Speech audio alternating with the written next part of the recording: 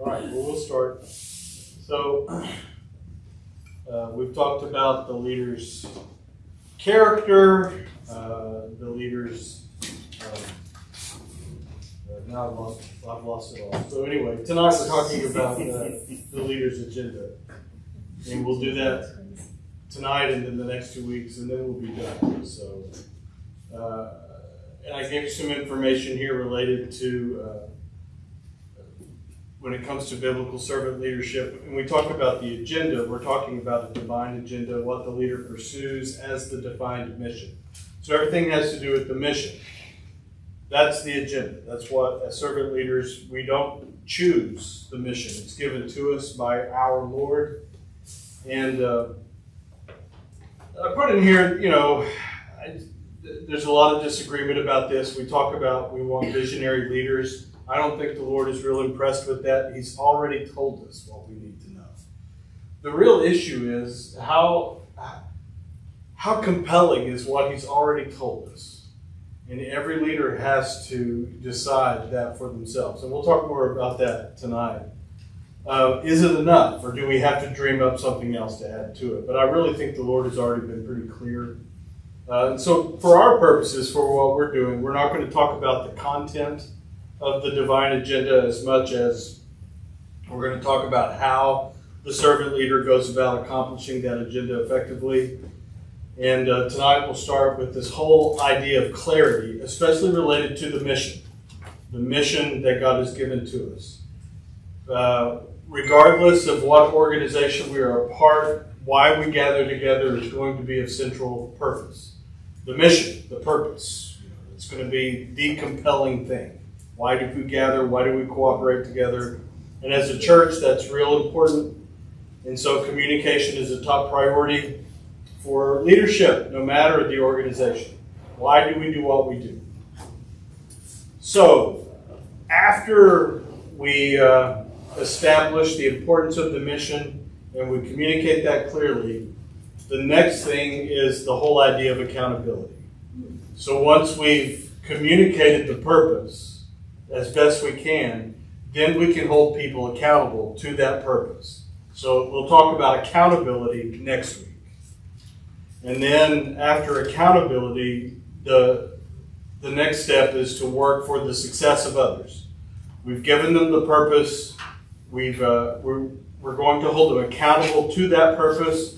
Now, how do we equip them and serve them so that they can succeed at that purpose? And so we'll talk about that the week after. So this week we're talking about clarity. Next week we talk about uh, accountability. And then the week after that we'll talk about equipping people to succeed. How do we serve them so that they can succeed? This week we're talking about clarity. So if leadership is about motivating and guiding people, which it is, then communication is absolutely essential. And if the divine agenda is so essential, then it's essential also that leaders communicate that effectively. If the mission that God has given us as a church, as individual believers, uh, whatever it is that God has called us to, that's so important, then we need to be able to communicate that purpose, that mission, as effectively as we can. Now, Cynthia, the good news is, is that it doesn't mean that all leaders will be great public speakers. Mm, even with practice. Yes. but uh, I think by necessity we'll be as effective as we can be. That's the goal. We want to be as effective and as clear as we can be about what we're communicating. Some are just naturally gifted. That's always going to be the case. Uh, but I think we can learn to be as skilled and effective and as clear as we possibly can be. Um, you're, we talked about situation comedies a little while ago. Did you ever watch one of those shows and uh, there was a misunderstanding? Some everyone. Yes. I mean, That's the whole just a big misunderstanding. So, uh, you know, in our in our in our relationships and in our families and where we work and in the organizations of which we're a part, so much depends upon the healthiness of and the clarity of our communication. Are we are we actually communicating? What needs to be communicated? How and when and is it effective and all of those things. So we'll talk about that's what we're going to talk about tonight. So let's begin to consider this just from a biblical perspective. So look in First Corinthians chapter 15. Couples, families, and leadership teams that don't communicate or that communicate poorly are prone to misunderstandings, anger, bitterness, and a failure to reconcile after the conflict. So research shows consistently that uh, just something that we tend to not even pay a lot of attention to, how we are communicating, can make or break whether or not we are actually accomplishing our purpose, our common purpose together. And this is especially important as, as Christians. And so Paul addresses this in uh, 1 Corinthians 15, verses 3 and 4. For what I received, I passed on to you as of first importance that Christ died for our sins according to the Scriptures, that he was buried, that he was raised on the third day according to the Scriptures. Um, and then it goes on, and you're familiar with probably, we use that around Easter time a lot. So, what was Paul's message?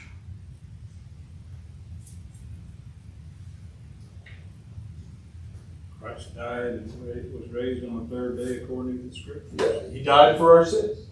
It's, it's pretty simple. This is a pretty direct and one of the most direct places where Paul spells out just as clearly, as simply as he can, the content of his message. Uh, and he said, You know, I passed on to you. This is of, of first importance, primary importance. There's nothing higher. This is what's important. And so it's a very simple message, so simple that it was sometimes dismissed as foolishness. If you looked in 1 Corinthians chapter 1, Paul talks about Jews demand a sign, and Greeks look for wisdom, but we preach Christ crucified, a stumbling block to Jews and foolishness to Gentiles. Uh, the whole idea of Christ crucified, resurrected, foolishness to some people, in, uh, to, to Jews and to Greeks. Uh, for some people, the, the message of the cross was a liability, but for Paul, what truly counted was whether the message had the power to transform lives. Uh, in 1 Corinthians 1, verse 24, he says, But to those whom God has called, both Jews and Greeks, Christ, the power of God, and the wisdom of God. In Romans 1.16, Paul says, For I am not ashamed of the gospel, because it is the power of God that brings salvation to everyone who believes, first to the Jew and then to the Gentile. So for Paul, his message was worth communicating because he believed it changed people's lives. It transformed lives. Uh, it was compelling for him. And we've talked about this before. Uh, Paul's life was definitely changed by his encounter with Jesus Christ. Uh, no question. It had, it had changed his life so dramatically, he believed it could do that to anybody. So, to be successful, leaders must have a clear and cogent message which can be transmitted well and put into practice effectively. Why are we here? Why are we doing what we do? I think as clearly and as concisely, as cogently as we can say that, then the more likely it is we will be doing it. And uh, it can be passed on to others. So our church, uh, I've been real proud, and I didn't have anything to do with this. All of this was done before I came to the church. But our church's mission statement, you know, to, to lead all people to be shaped by the love of Jesus Christ, is it's pretty good. Uh, and, uh, you know, we shorten it to put it on all kinds of stuff, being shaped by the love of Christ. It's short, it's cogent, it's to the point, it can be transmitted easily. I like it. it could we do better? Of course. I mean, Jeff Langham, he was always trying to think of a better mission statement. And he never came up with one that I thought was better. He came up with some good ones. But, you know, why do you need to reinvent the wheel? Just chill out. You know, we have a good one. He could never, you know, ours is good. Whoever came up with it. And I've heard lots of anecdotal stories. Who's responsible? Uh, but they did a great job, and I'm so thankful for it. All right. The next thing effective communicators must understand their audience. So, give me some examples of how Jesus clearly understood his audience. The parables. What about the parables? Well, they always, the stories that he told were always something that the audience at the time could understand, came out of their life understanding. It was something they could easily relate to. Okay. So literally, to cat, a uh, parable is a story that casts things alongside one another. And so Jesus would take, especially in an agrarian society, images and routines they were familiar with, and he would compare those, cast that alongside what he was trying to get them to see about the kingdom of God. And they would make the comparisons. Uh, he did not talk to them about how the kingdom of God is similar to math he talked about how the kingdom of God resembled sowing seed and, and harvesting crops and things of that nature. Finding a pearl, you know, great prize of this treasure. And so, yeah, how else, what else can you think of? How did Jesus understand his audience? He dealt with the Pharisees.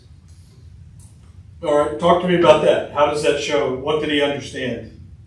Um, their reluctance to see him as the Messiah. Scared me death. Okay, so uh, you could say, it'd be fair to say, Jesus understood the Pharisees, didn't he? He understood them. So much so that there were times where he had some pretty telling and harsh words for them whitewashed tombs, those sorts of things. He did understand, and he communicated clearly to them and helped.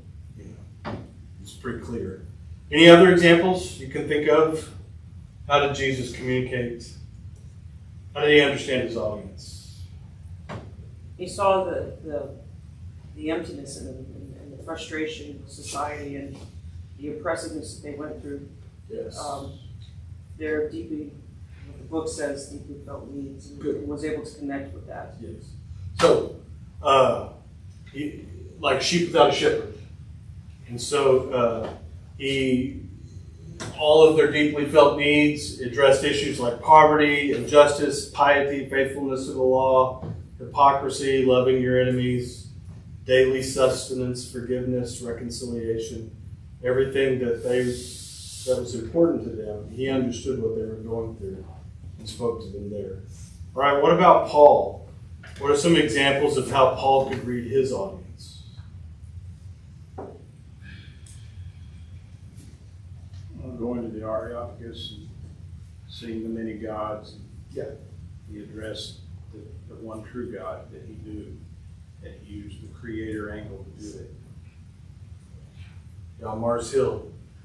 Uh, so uh, all of those gods there, and then the altar to the unknown God. And he used that as a way of uh, proclaiming Christ to the Greeks that were there.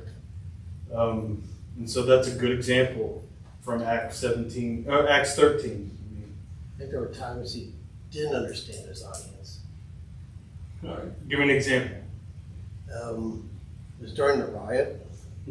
Yeah. He, let me out! Let me out! No, Paul, they're going to kill you. Let me out! I'm going to tell them. So he had to be persuaded.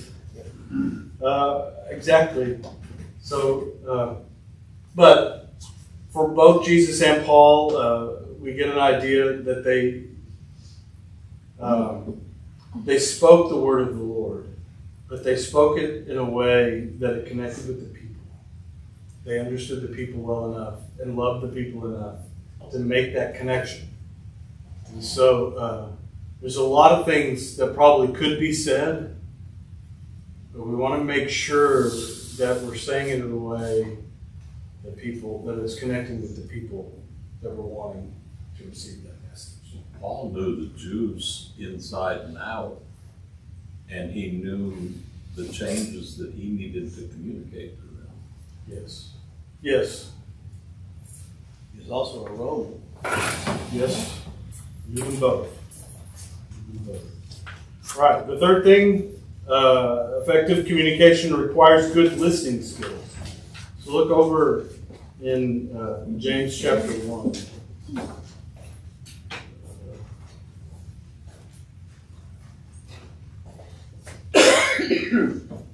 Says, come on. My Bible My dear brothers, take note of this. Everyone should be quick to listen, slow to speak, slow to become angry. Yay. And then verse 20 uh, For man's anger does not bring about the righteous life that God desires. So here, uh, what does it mean to be quick to listen? They always say God gave you two ears and one mouth for a reason. And what is that reason? I hadn't figured it out. I think my mother named me wrong. It's the hardest thing to do is to seek to, to fully understand so that you can address mm-hmm. now what you're understanding to alleviate the preconceptions, and thoughts, and, and, and boy, is our society bad at this. Because there's so much noise, you know, you expect, you know, something because you've already heard or had this feeling about something. And so you've already prejudged. You just have to be honest. So you have somebody approach us, husband and wife, it's all the time. You, you may think you know. Yeah. But uh, you really, really have to rely on God to, to slow yourself down. So it's actually the opposite of what we think is quick. Don't be so quick to think this is how he or she is actually feeling. Because we are so quick to put labels and classify, oh, well, you're going through MDS. That's the issue.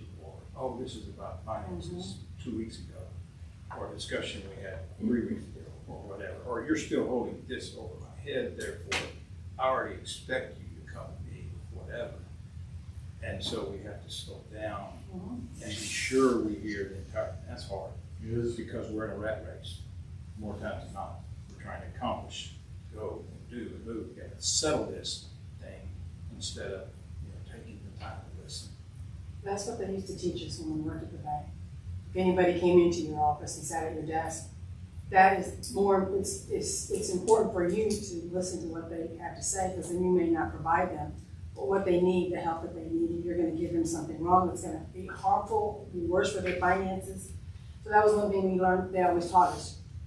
Listen and hear what they're saying, don't start talking while they're talking, because then you're not gonna hear everything that they need. And in training teachers, Mhm. as well as law officers, you would learn to de-escalate.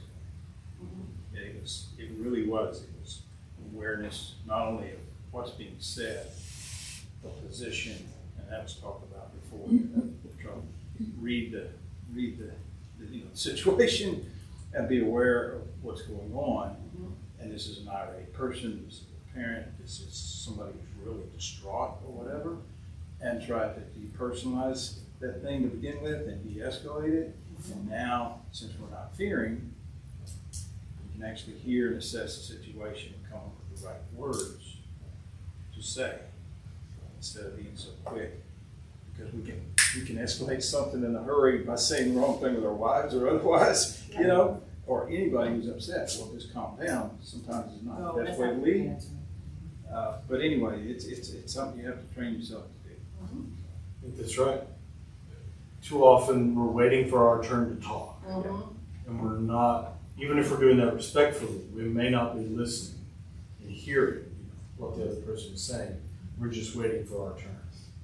In uh, de-escalation, they, they always say, when the other person is done speaking, you say, this is what I heard you say, am I correct? Yep.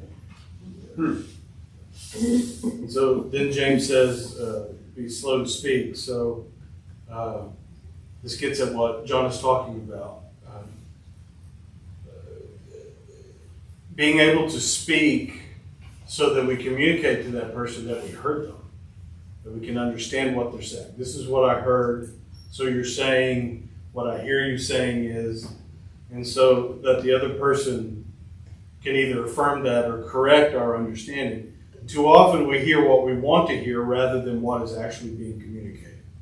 And so I want to be slow enough to process what it's saying, and that when I do speak, I think, I want to be able to make sure that what I'm communicating is that I've heard you. I've heard you. Now it's my turn to talk.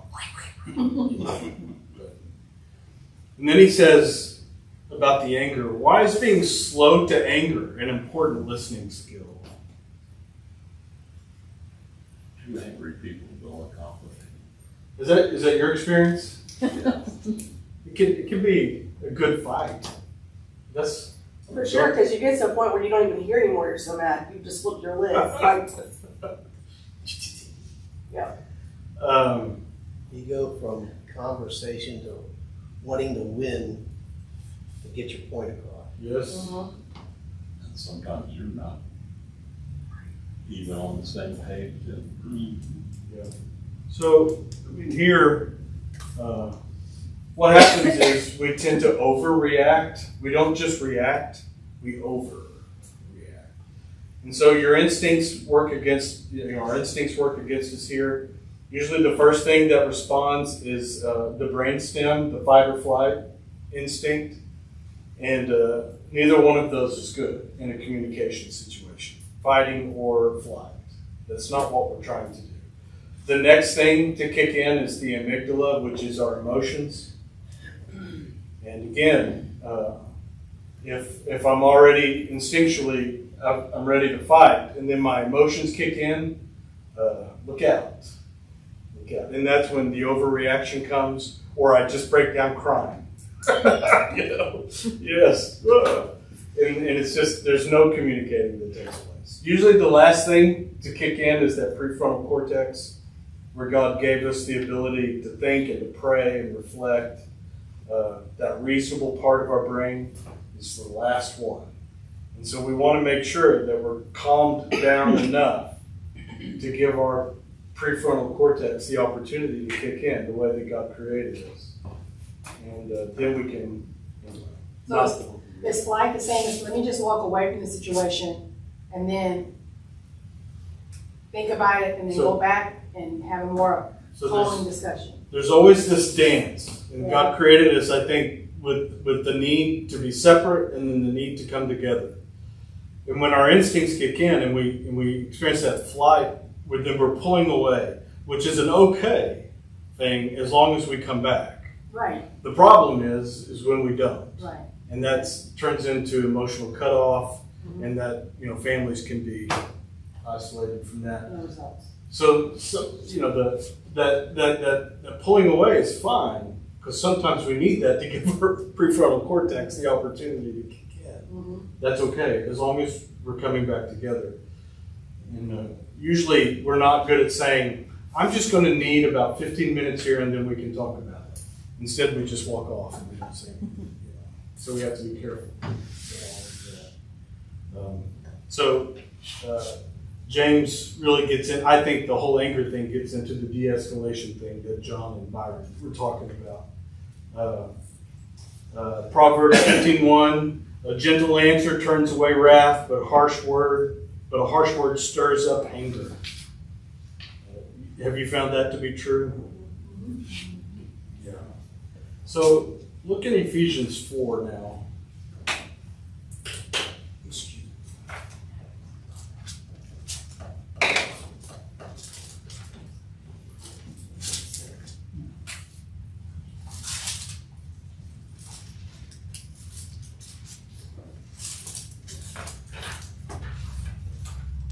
Ephesians four fifteen. Instead, speaking the truth in love, we will in all things grow up into Him who is the head, that is Christ, uh, Christ Jesus. So, ultimately, the goal of communication should be the same as our goal in all leadership functions, which is to choose words to build others up rather than to break them down. And so in verse 4, in, in chapter 4, verse 15 here, what is involved in speaking the truth in love? Be calm. Call them perhaps. You have to we say truth? You, you want to say true things. Okay. What does that mean? Can you tell me, what do you have in mind? Is it just not saying, not lying? I think that it goes beyond that because in my understanding, it's something that has to be in accordance with the truth. Oh, okay.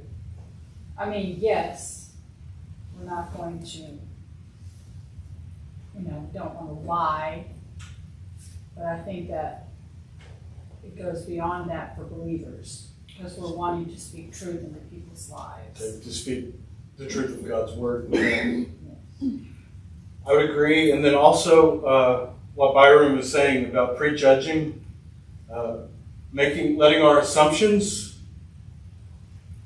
uh, that's not what we want to say. I assume all kinds of things about you, and I might communicate with you according to all of those assumptions. And that's all there are assumptions, just things I assume to be true, ways that I've prejudged. And what God wants me to do is to not do that. you know, if I'm going to speak the truth, I want to make sure that it's the truth. So the difference is, you know, if Kim and I are having an argument, and uh, You know, that never happens. oh gosh, she says that, uh, you know, I now I can't even think of an example. Well, let's not show real, real, real examples. That's why he's struggling, he can't, can't come up with it. But, but you understand what I'm saying? I mean, that, We've all had them. that uh, sh- I assume something about her that is true, and it may not only be unfair, it may be untrue. And so I can say, I can make an accusation, or I can ask her. You know, they're two different things. But uh, I want to make sure that when I speak the truth, that it is actually something that is correct and true. But then he says to do it in love. What does that mean? Well, that's like when your wife comes to you, to you and says, does this dress make me look pretty, or Oh. does this dress make me look fat? What do you do? We have to speak in love. Yes. Honest. You look lovely. I get the truth. I appreciate it. I don't want to walk out of the house looking bad. Well, there's a way to do it. Oh, yeah, he's kind, but I'm saying, I appreciate it. You, you don't want your husband to go, man, that looks, you look horrible in that. I know four fat people. You're three of them. Oh, my God. He's always- It's the wrong Struck Probably that wouldn't from go the for record. It's not the right thing. So you gotta be careful. Yeah. Right? I think it's, you know, it's, it's, it's also, what- I think what they're trying to get at is organizational maturity and with leadership maturity. And, and if you have someone in your leadership team that's not going in the right direction and, and you need to bring them back in, um, you need to do it, back it up with scripture and, and talk to them in love in a way that you want to help encourage them to make the right decision and come back into the fold. That's right. So, redemptive. We're working in someone's long-term best interests.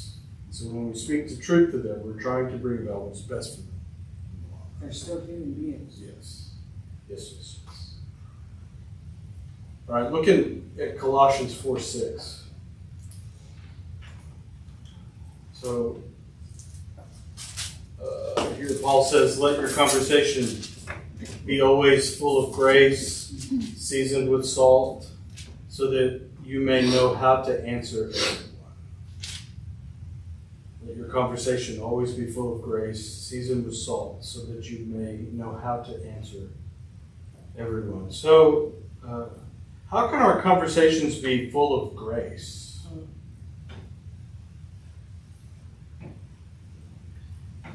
Can Shaver, have you had one involved, Yes. lifting them up, or lifting the situation up? You're a leader, and somebody comes un- underneath you, comes up and, and says something or does something, and it's just, it's a wreck. If you, if you wanna help them, you don't destroy them by telling them how bad they screwed up. You can point out where they went wrong without being demeaning. Grace, full of grace. What about seasoned with salt? How do you understand that? Wisdom.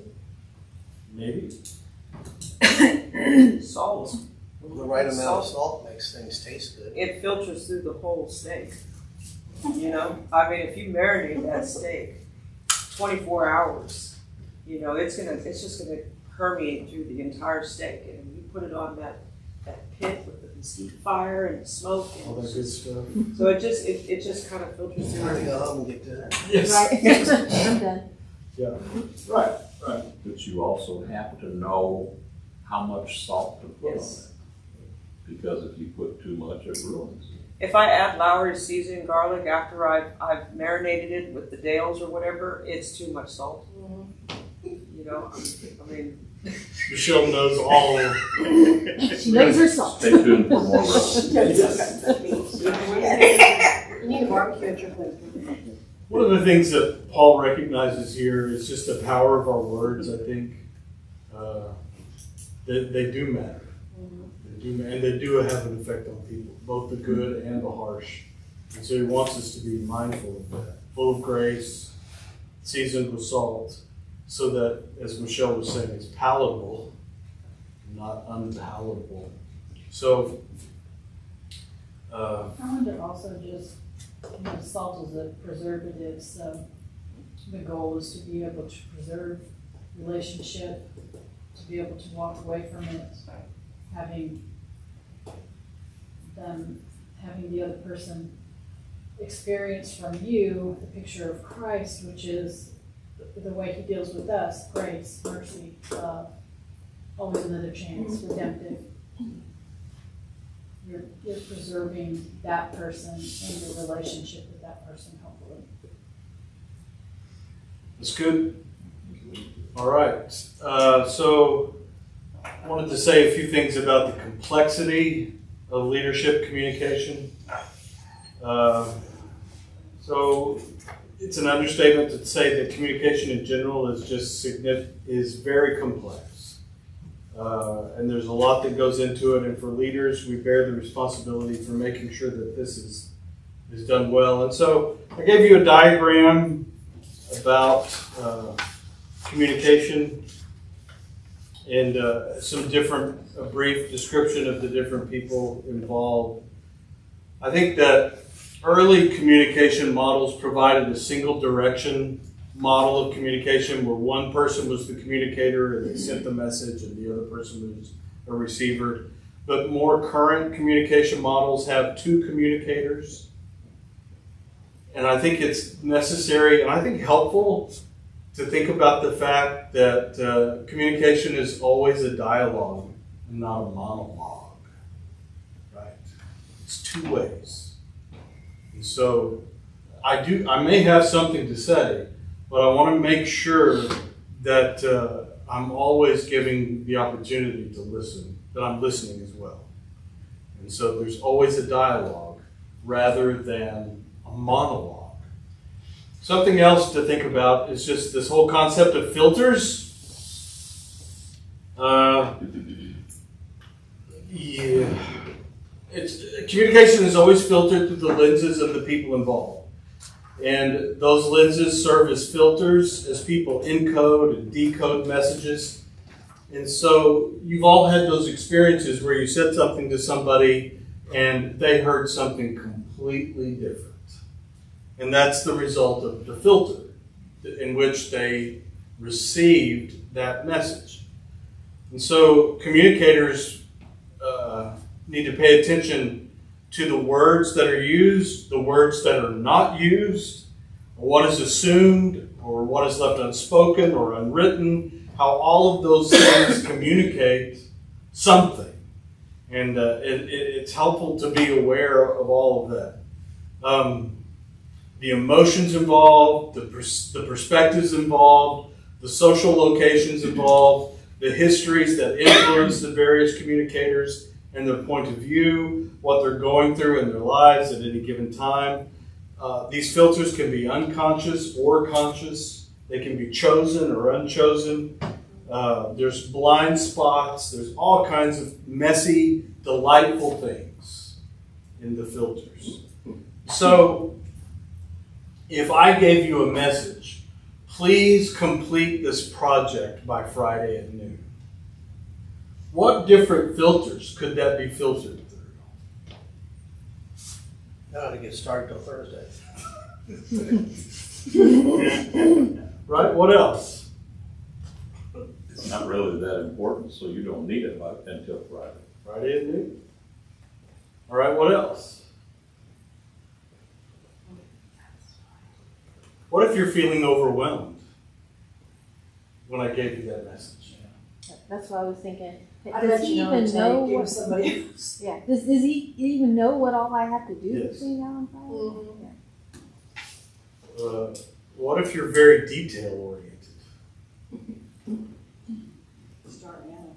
Oh my gosh. It's Wednesday. And so, I mean, it's something, it's just a simple message. Please complete this by Friday at noon. Can turn into something just dependent. And that's just all of the filters. Then uh, you have to think about um, the, the message itself. Uh, something that is both valuable and clear to call others to in the communication process. So the contents of leader messages will be diverse and numerous. The leaders must be clear on a, a few key messages. And Patrick Lencioni talks about six vital questions uh, that organizational leaders need to have answers to. Why do we exist? How do we behave? What do we do? How will we succeed? What is most important right now? And who must do that thing? You know, uh, we must be communicating messages that are compassionate for the people who are part of what we're doing and also help us to stay on task for the purpose that we are gathered together. Something else to consider the channels, uh, the mediums for transmitting intended messages. So, what are all the different channels or mediums for communication in our society today? Text. Texting, Cell phones. cell phones, Email, email, Nonverbal. Facebook. nonverbal, or verbal face to face. It can be on Zoom as well. Tone, Right. tone, The tone, body language, tone of voice. the tone of voice, all of those, and more. Uh, all kinds of ways to transmit messages in our world today. Uh, they tell us that most communicative acts that are effective will use multiple channels simultaneously. And so we struggle with that here at the church. Communication is a big deal. Uh, and we it's always a fail. Yes, doesn't matter what you do. It's a fail. So how do we how do we get the word out? We have to do everything. Mhm. You have to and throw it against the wall and hope some of it sticks. Uh, because there's so many different ways that people are paying attention. And so it all it all matters. Also to think about noise or interference. And this, an easy example of this is you remember when we were all doing Zoom meetings and classes and that sort of thing, and uh, when the internet connection was, was slow and people would glitch out, and uh, how so annoying that is. Somebody's cat walking. Cat, across yes. But do we do that also uh, in person? What's the noise, the interference, even like in in face to face meetings? Our inner voice. Yes, daydreaming, the inner dialogue, The squeaky chair. the squeaky chair. The AC. Yes, the, the uh, temperature of the room. Being on your phone. That pin right there. Distraction. the devil. The, the devil right there. It is. It is. You're talking No, to it someone and they're, they're, oh, they're not listening. Uh, or were you just clicking your pen? Yes. Kim is. Yes. Which is, yes. It's a big deal. So there's always going to be interference in the room uh, when it comes to the message. The last thing to think about is the feedback, and just to make sure that I'm giving a chance for it. Uh, I want to hear. What do you have to say about it? You know, what what did you hear me say? What are you hearing? And so there's this constant communication loop. Uh, it's not a monologue, it's a dialogue. And we want to be speaking and listening. Uh, the next thing I gave you just uh, serving others through clear communication. Although communication is complex, leaders can prioritize core aspects of the communication process that help make the complexities a bit more manageable. And so, one starting point to this is remembering whom leaders serve in their work. Healthy leadership is not primarily about serving the needs of leaders. Healthy leadership is about serving the needs of others, followers, and those served by the organization. And so, I want to make sure that I'm communicating to express the heart of my servant leadership. The goal is not speaking, but understanding. So it's not a monologue, it's a dialogue. And also, the goal is not teaching, but learning.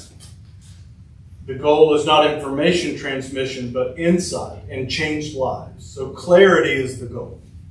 We want to be as clear as possible.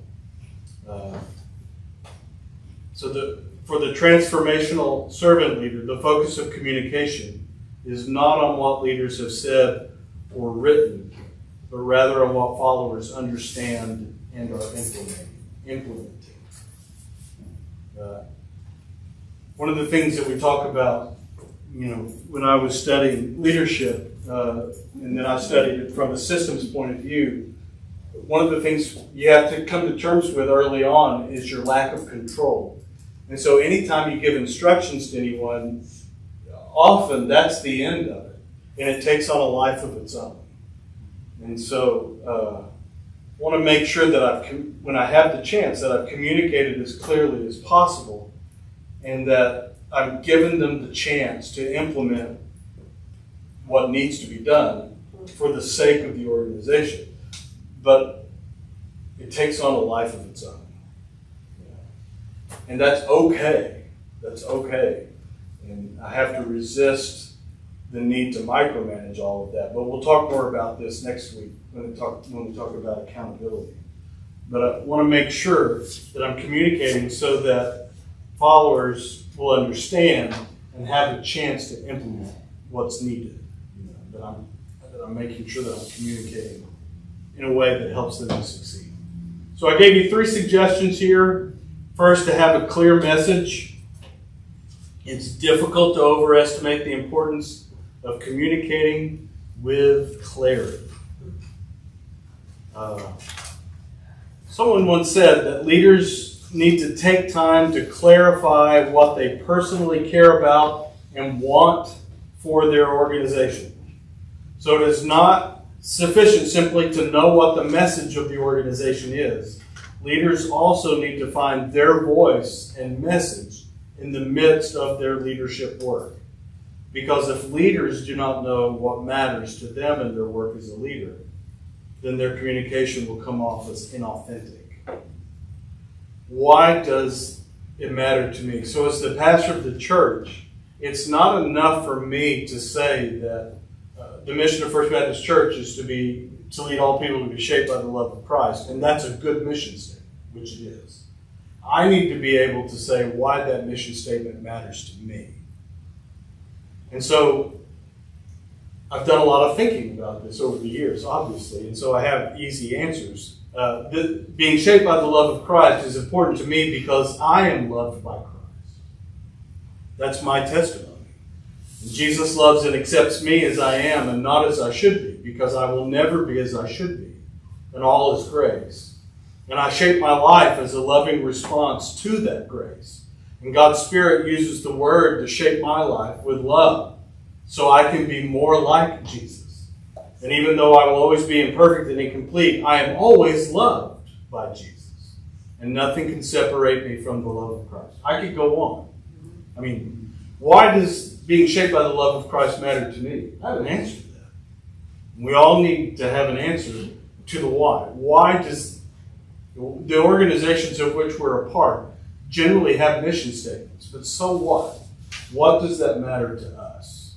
How have we personalized that? And especially in leadership roles, We want to be able to communicate why these organizations and their purposes mean so much to us. And I've had to do that with the church over the years. So you'll want to think about what are your core messages? What are you ready to share about those in a way that's thoughtful and meaningful, even at a moment's notice?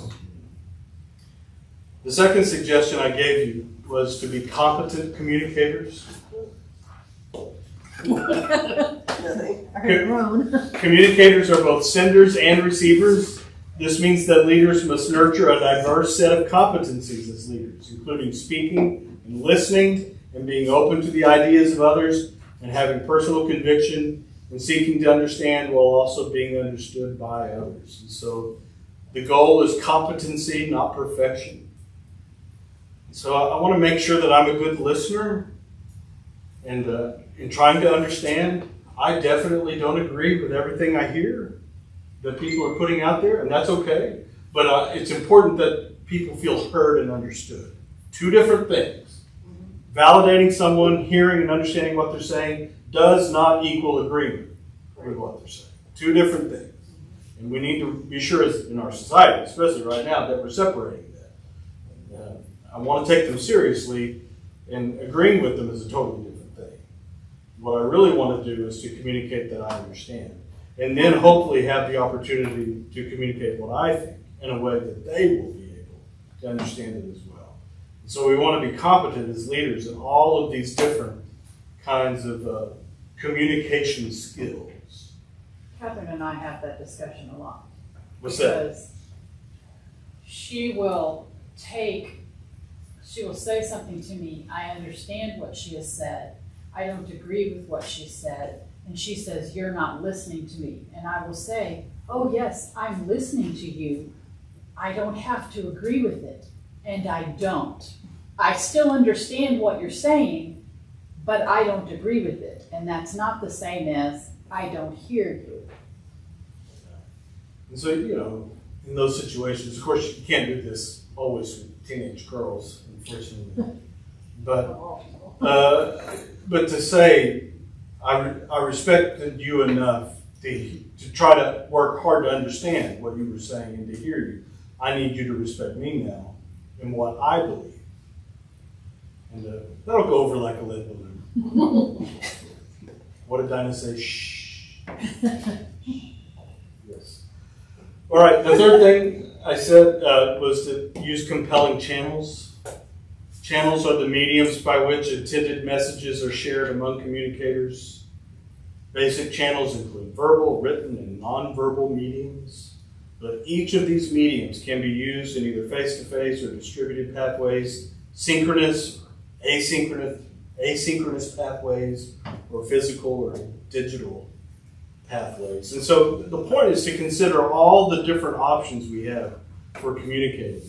We want to use as much as we can to make sure that uh, we're communicating in a way that people will hear it. Know your audience, know how to communicate with those folks. How do they hear? How do they listen? And uh, to use all of the means available to us to get the message out. If it's worth communicating, if the message is so important, it's worth communicating it well in a way that people will hear it and uh, receive it. All right. Questions tonight? Comments? We've covered a lot of ground. It's good. Well communicated. It's good. You're gonna meet next week because it's the first. That's time. fine. Yeah, so next week, I have, I have in mind that we'll meet at five. And then the first family meeting is at six. Oh, that's right. Oh, yeah. So I don't know what that does to all of your schedules, but there's no way around it. The law says we have to have these quarterly business meetings, the law, the man. And so we need to have them this time. And, uh, but I want us to not belabor this class beyond Thanksgiving. So I'd like to get this wrapped up before Thanksgiving.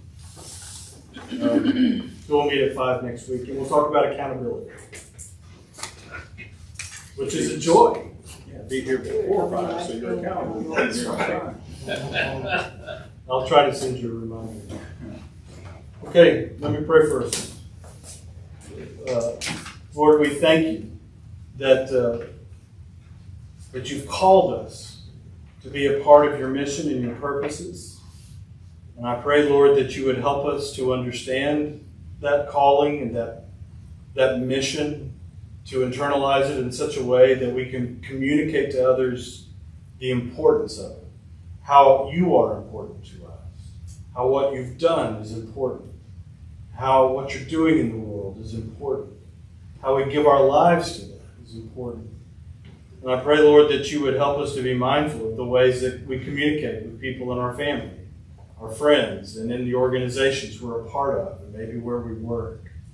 Um, help us to serve others by being as clear as possible and by being good listeners, and to speak in a way that will bring about what is best for others. So Lord, I know there are a lot of people who couldn't be here tonight, and they're scattered hither and yon. I pray that you would bless them and provide what they need.